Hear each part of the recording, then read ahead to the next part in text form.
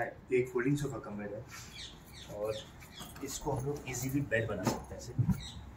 तो सोने के टाइम पे ये वाले साइज़ पे दो लोग आराम से सो सकते हैं this is four by six ये आपने रिक्लाइनर बना दिया समझो आप ये देख रहे हैं पेपर पढ़ रहे तो आराम से मूवी देखने के टाइम ये ऊपर नीचे साइड बाई साइड किसी को ऊपर नीचे बैठना। ये बाहर बैठा, दीवार थोड़े टाइम के लिए सोना या बैठना भाजी वाजी काट के। इसका एक एडवांटेज है कि इसका कवर निकाल के वॉश कर सकते हैं कभी गंदा हो गया तो। फोम अगर गिला हुआ तो निकाल के आप सुखा सकते हैं। इजी वॉशेबल है, इसमें लकड़ी नहीं है, जिसकी वजह से आप इसको इजीली मूव कर सकते हैं कोई जगह से दूसरी जगह। इसमें और भी कलर्स आते हैं, और भी डिज़ाइन आते हैं। हमारे नीचे थे व्हाट्सएप नंबर पर हाई करिए for more colours and details thank you so much